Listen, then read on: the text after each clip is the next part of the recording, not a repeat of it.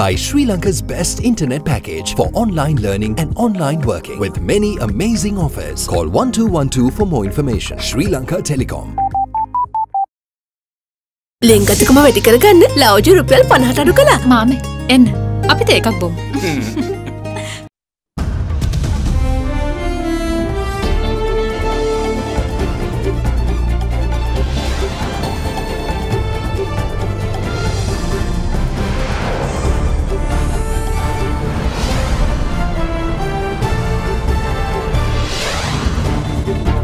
Tonight, absconding blame. Former President Maithripala Sirisena offered the IGP an ambassadorship to take the fall for Easter attacks. Through the eyes of the TNA, cannot antagonize the majority in pursuit of a dignified solution to the Tamil national question. Easy as you like it. A prison sergeant gives contract to inmate to assassinate the superior officer. Political Victimization Commission. Former Prime Minister Ranil Wickremesinghe made a witness over several cases. All that and much more coming up on First at 9, this Saturday the 19th of September 2020. Nava Sunlight Sakura. Then, dikukal Pavathina Sakura Mal Suandin. From Ada Derana, this is Ada Derana First at 9. Live from Studio 24 in Colombo.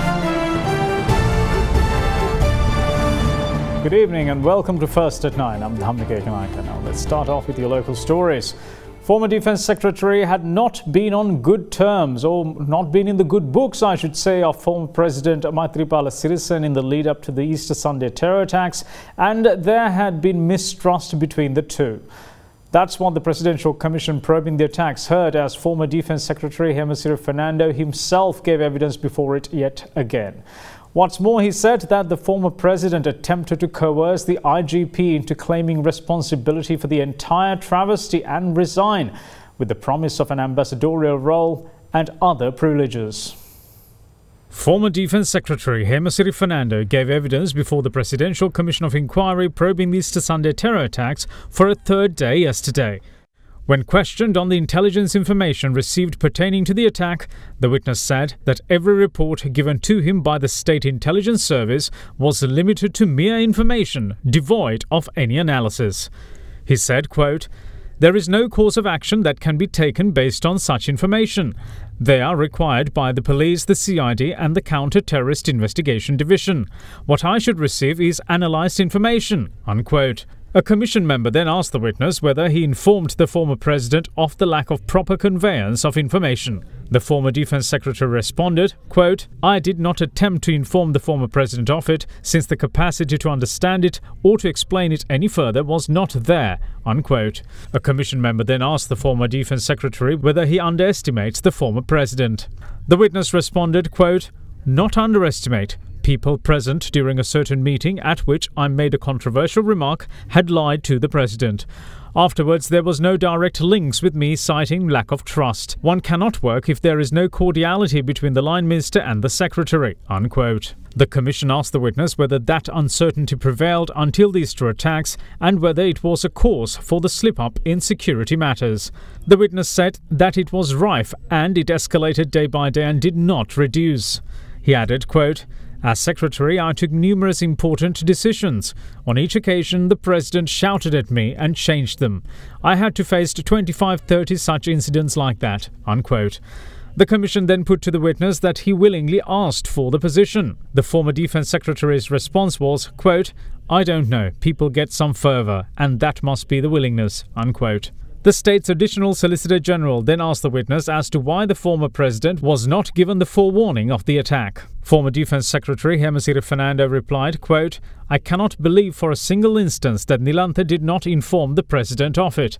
They were that close. On most instances, reports of the Director of State Intelligence were given to the President by Nilantha himself before I.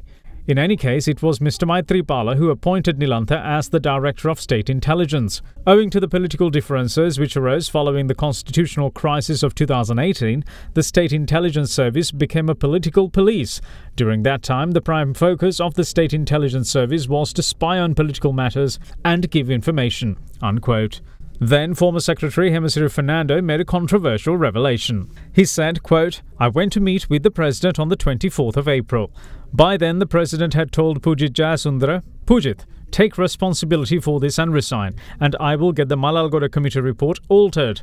Don't you worry. You will be given your pension and privileges and be given an ambassadorship in a suitable country. However, Pujit Jayasundara had not agreed to the proposal of Maithripala Sirisena. I asked the president as to who is responsible, whether it's Nilantha, Pujit, or I, for not informing you, as stated by you. I told him that it was Nilantha who worked closely with him. The president then fell silent and looked down. I told him again, President, don't even keep a secretary from speaking for at least 10 minutes.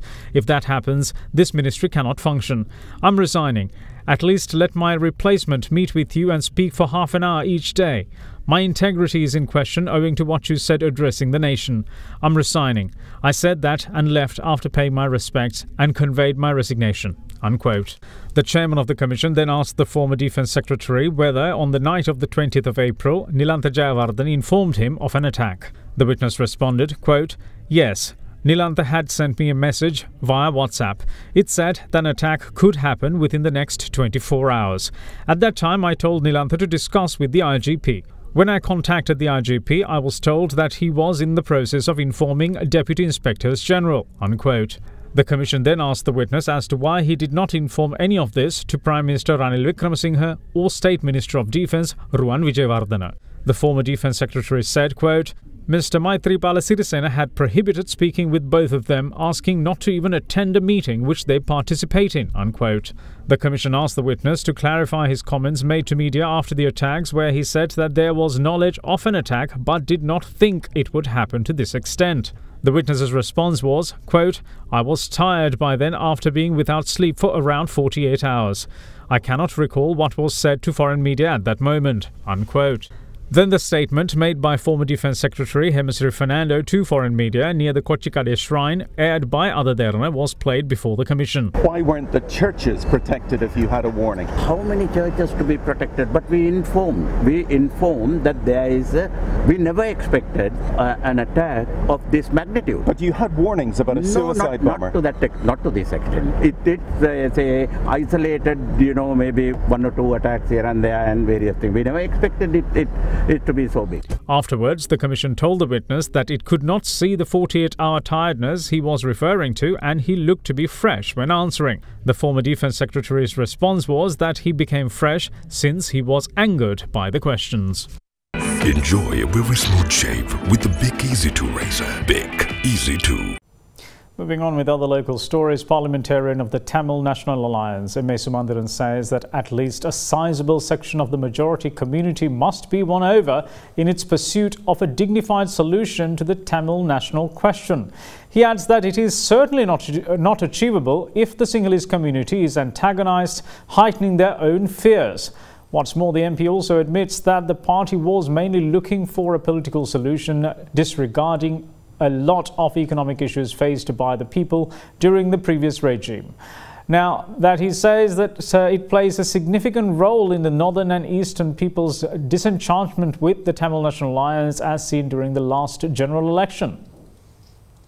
Spokesperson of the Tamil National Alliance, M.A. Sumanthiran, says that failure to meet the expectations of the people from 2015 to 2019, when the alliance backed the government of good governance, led to it losing considerable ground in the August general election. He concedes that the party was mainly or solely looking for a political solution, disregarding a lot of economic issues faced by the people during the previous regime. Speaking to a foreign media outlet, Sumanthiran said, quote, with the political solution also evading us, people who hoped that at least their economic lot would be made better were disappointed. There may be other reasons also, but I think primarily these are the two reasons that explain why we ceded ground on both sides the hardline Tamil nationalist side, who are looking for a final solution to the Tamil national question, and to government allies who appeal to some of the people looking for better economic prospects. Unquote.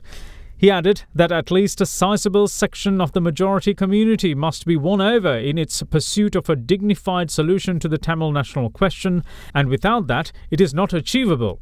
Sumanthiran said, quote, Certainly not achievable if we keep antagonizing them and heightening their own fears. Unquote. On the 20th Amendment to the Constitution, the TNA parliamentarian says that it seeks to go back to the pre 19th Amendment situation where you have a superpower executive president with unparalleled powers anywhere else in the world without any real checks and balances.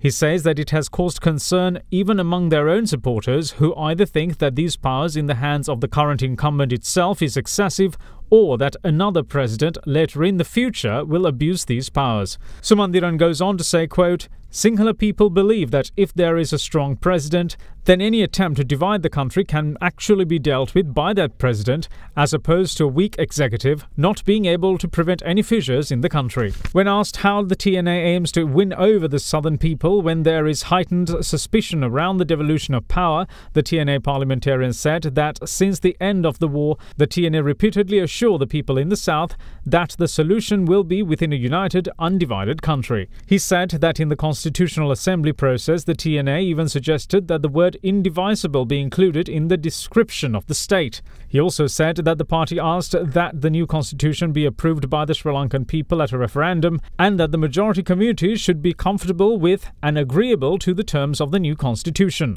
Sumanthiran added that such a transparent approach will win over the Sinhalese people. Information of a contract to assassinate superintendent of the Kuruvita prison Dhammika Dasanayaka has come to light, with the conspirator being the prison's sergeant. The Department of Prisons has appointed a senior superintendent of prisons to investigate the matter and submit a report within three days. Now with that, let's take a look at the latest on Sri Lanka's war on drugs and the underworld.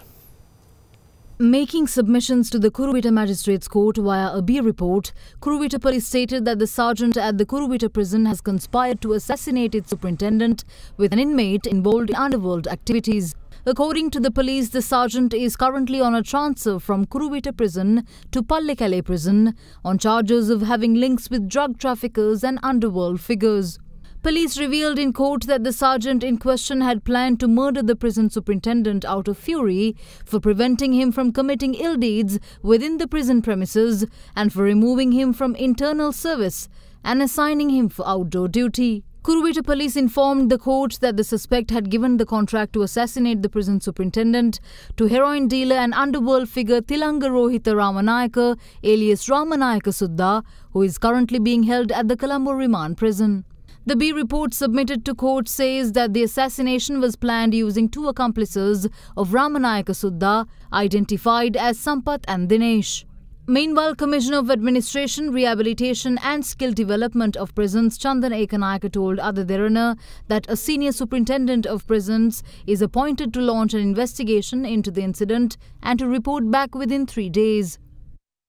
Meanwhile, a woman and her husband were arrested with 800 milligrams of heroin based on a tip-off received by the police investigation unit of the Panadura division. According to the police, the woman, who is a model by profession, and her husband are drug addicts.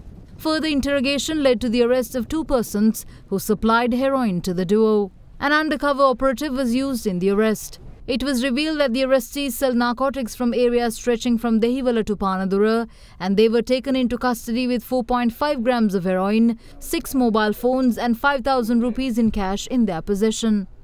In Mount Lavinia, three suspects were arrested by the area police investigation unit yesterday with 6.72 grams of heroin and 35 grams of crystal methamphetamine, also known as ice. The suspects aged 34, 35 and 21 were involved in drug trafficking in the areas of Dehiwala, Mount Lavinia and Ratmalana. Meanwhile, two persons involved in drug trafficking in the area of Kegalle over a period of time were arrested by the special unit formed under the Superintendent of Police in charge of Kegalle Division during a raid conducted yesterday. One of the suspects was revealed as the son of a renowned businessman, while 12.5 grams of narcotics, three mobile phones, and a bank ATM card were seized from the possession of the duo. Elsewhere in Minuwangoda, the police investigation unit of the Gampaha division arrested an individual with 15 grams of narcotics in his possession. Meanwhile, the Matara police have unravelled a drug and prostitution racket which targeted school children attending tuition classes conducting over the weekend. The racket had been worked off in the areas of Matara and Weligama. During the raid, police were able to arrest nine suspects with heroin and Kerala cannabis in their possession, as well as four women engaged in prostitution. We will see you shortly after this break. Bear with us.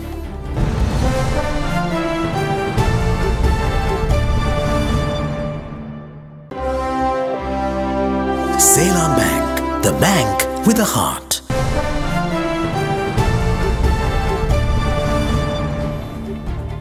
Welcome back. You're watching First at Night. Now, Sri Lanka's coastal cleanup program commenced today from Mount Lavinia to coincide with the International Coastal Cleanup Day. Prime Minister Mahinda Rajapaksa also joined the launch of the program jointly worked off by the Marine Environment Protection Authority, our own Manusath Derana and other environmental organizations.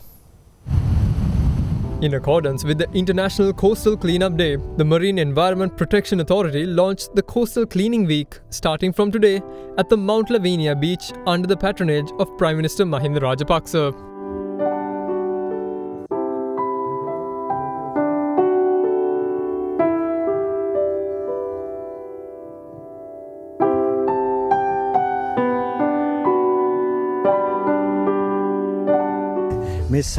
වෙරල තීරයත් ඒ වගේම අපේ අවට තියෙන සාගරයත් අයිති මේ රටේ මහජනතාවට. ඒක රැකගැනීමේ වගකීම තිබෙන්නේ මහජනතාවට. ඒ නිසා අද විශේෂයෙන්ම මේ වැඩසටහනේදී උත්සාහ කරනවා ජනතාව දැනුවත් කරන්න ඒ ජනතාවගේ තිබෙන අයිතිය ගැන ජනතාවගේ තිබෙන වගකීම ගැන. In addition to environmental organizations that joined in the efforts, students were also present. තොර අද අදිනල තව සතියක් දක්වා ලංකාවේ තියෙන ස්ථාන 80කට වැඩි ප්‍රමාණයක වෙරළ කලා පිරිසිදු කිරීමේ වැඩසටහන් ක්‍රියාත්මක වෙනවා. අපි හැමදාම කියන්නේ මේක එකතු වෙන කියලා. මේ සමරන්නේ අන්තර්ජාතික වෙරළ පිරිසිදු කිරීමේ දිනය. මේ මේ දිනයේදී සමස්ත ලෝකවාසීන්ම තම තමන්ගේ වෙරළ තීරණයට එකතු වෙලා එහි කුණු කසල අපද්‍රව්‍ය එකතු කරලා ඒවා ලේඛනගත කරලා යම්කිසි වාර්තාවක් හදනවා. ඉතින් ශ්‍රී ලංකාව විදියට අපිත් සමස්ත සමාජයට පණිවිඩයක් ගෙන යන්න හැමෝම පරිසරය ගැන සංවේදී කරන්න, සාගරය ආරක්ෂා කරන්න පෙළඹීමක් ඇති කරන්න එක තමයි අපි අද මේ දිනේ මේක මේ තරම් උත්සාහකාරයෙන් The beach cleanup program, which begins today, will run for seven days at several beaches across the country. Meanwhile, the entire cleaning program is sponsored by Manusath Derana. Meanwhile, various operations and projects launched by the government pertaining to Buddhism and the development of education and national security have drawn praise from the Buddhist Advisory Council.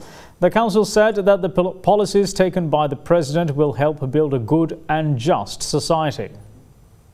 The Buddhist Advisory Council that was established in April to seek the advice of members of the Buddhist clergy on government policies met with the President for the sixth occasion yesterday. The Advisory Council reviewed the progress of the implementation of projects and expressed confidence that the policies followed by the President would help build a good and just society. The President's media division stated that members of the Buddhist clergy had commended the government for prioritizing the preservation of historical sites of archaeological value, eliminating the shortcomings in Pirivan education and focusing on its promotion, freeing lands with issues belonging to the temples and providing them with clear deeds. The government's focus on Dhamma school education, the national education policy, and the development of early childhood and national security was also commended by the members of the clergy. The President's media division also stated that the government's focus on the crackdown of drugs, environmental conservation, creation of the background for a dialogue on Buddha Sasana and other proposals, including Buddhist universities being brought under the Ministry of Education, also drew praise. The members of the Buddhist clergy also stated that many parties had commended the decision taken to amend the Antiquities Act to address the long standing issues regarding temples established in archaeological lands. The Buddhist Advisory Council is scheduled to meet on the third Friday of each month. Now, in other local stories, State Minister of Provincial Councils and Local Government Dr. Sarath Veerasekara clarified his remarks made on the 13th Amendment and the Provincial Council system during an inter-provincial subject coordinating committee meeting held yesterday. He said that he has always opposed the 13th Amendment and the Provincial Council system since its inception and becoming the State Minister of the subject has not affected a change of stance. අපි දන්නවා මේ පළාත් සභා වසර දෙක තුනක් පමණ තිබ්බේ නැහැ ක්‍රියාත්මක වුණේ නැහැ මේ දවස්වල මම රාජ්‍ය ඇමති හැටියට මේ පළාත් සභා අවහොස කළ යුතුයි කියලා ප්‍රකාශයක් දැන් පුවත්පත යනවා. ඒ ගැන ජනතාව අතර කතිකාවකුත් ඇති වෙලා තියෙනවා. 13 වෙනි සංශෝධනයේට එදා සිටම විරුද්ධ වෙච්ච කෙනෙක් මම.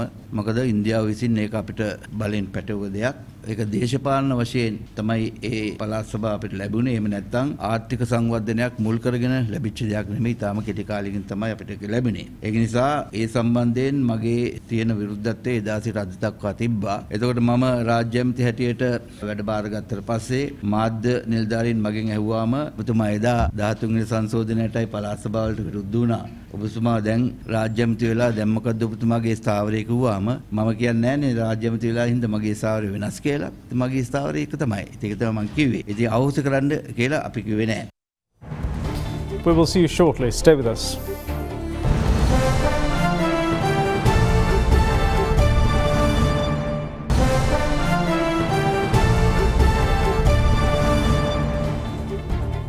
Welcome back. This is First at Nine.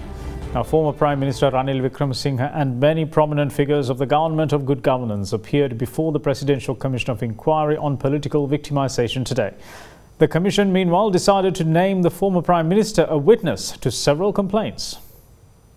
The Presidential Commission of Inquiry on Political Victimization today decided to name former Prime Minister Ranil Wickremesinghe as a witness, who was previously named as a respondent in connection with several complaints lodged with the Commission. Chairman of the Commission, retired Supreme Court Judge Upali Abeyratne said that the decision was taken after considering the evidence previously submitted by Wickremesinghe to the Commission with regard to the complaint filed by former Secretary to the Ministry of Economic Development, Dr. Nihal Jayathilaka. Meanwhile, former Minister and Member of Parliament Patali Champika Ranawaka, a respondent in several complaints filed, testified before the Commission today. He said that the Anti-Corruption Commission was set up as then President Maithripala Sirisena was given the mandate to do justice pertaining to the grievances of the people against corruption and fraud. The chairman of the commission then asked whether it is the same grievances which were defeated by hundreds of thousands during the recent election, to which the MP responded, We bow down and accept it. MP Ranawaka further stated that issues with regard to the credibility of some members of the government arose due to them standing by those involved in corruption. The Commission's chairman said that a single B report at least had not been filed against the former president and anyone who supported the government. Responding to the chairman, MP Ranawaka said that investigations were launched against former ministers Anurupriya Darshanayapa, Rajitha Senaratne and Sajith Premadasa. Chairman of the commission then said the investigations did not take place through the Anti-Corruption Committee. Meanwhile, former Minister Mangala Samaraweera, a member of the Anti-Corruption Committee, was cross-examined before the commission today. Now, the grand finale of Derana Dream Star Season 9 is currently underway at the auditorium of the National Youth Services Council in Maharagama, with three finalists vying for the title. Live telecast of the grand finale began at 7.30 p.m. on TV Derana. Nuandika Senaratna, Gihan Bandar and Fallon Andrea Jansen are battling it out for the coveted title, where the ultimate champion will be decided through SMS votes of the viewers. The highest voted among them will be the next Derana Dream star.